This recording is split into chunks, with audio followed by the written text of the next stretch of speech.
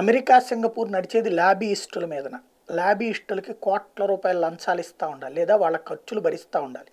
భారత ల్యాబీ ఉంటుంది అమెరికాలో పాకిస్తాన్ ల్యాబీ ఉంటుంది బ్రిటన్ ల్యాబీ ఉంటుంది ప్రతి దేశపు ల్యాబీ ఉంటుంది. అక్కడ ఉన్న పార్లమెంట్ సభ్యులే వీళ్ళ దగ్గర నుంచి అధికారికంగా డబ్బులు తీసుకుంటూ ఆయా దేశాల కోసం అమెరికాలో ఉన్న చట్టసభలను వినియోగిస్తూ ఉంటారు. ఇప్పుడు అట్లాంటి లా మేకర్స్ అంటే వాళ్ళ ఎంపీలు భారత్కి అనుకూలంగా ప్రెషర్ చేయడం ప్రారంభించారు బైడెన్ మీదన.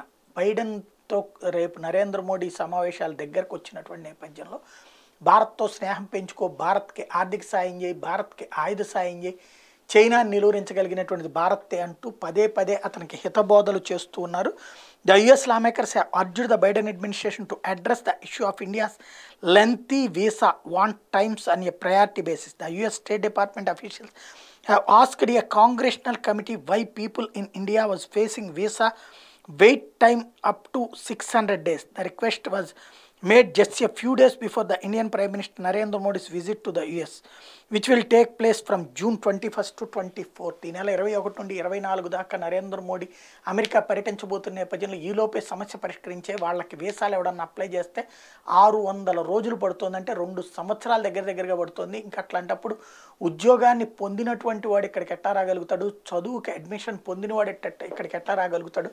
కాబట్టి దానికి సంబంధించి ఏదో ఒక పరిష్కారం చూపించు భారతీయులకి అని చెప్పి వాళ్ళ దేశపు లా మేకర్స్ అక్కడ ఉన్నటువంటి బైడెన్కి సలహాలు ఇస్తున్నారు.